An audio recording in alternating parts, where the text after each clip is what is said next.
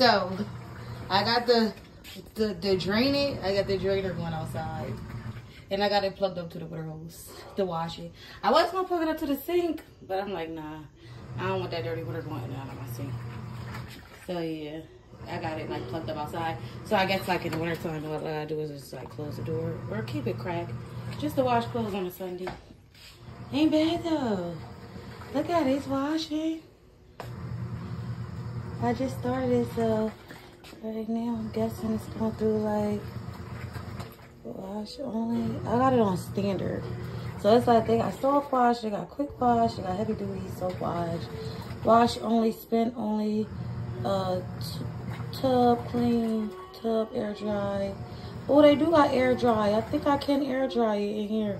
So this probably is a two-on-one, like a, a dryer. And they got a water cycle. Oh, I can cycle water. I wonder if I can. I don't know. But yeah, y'all, I'm just showing y'all because I'm excited. It's as little as the uh, deep freezer. That's how small it is. And it's only, it only put a little bit of clothes in here, but these are all my work clothes right now. But it's getting washed. Yeah. All right, Mom, I just wanted to show you.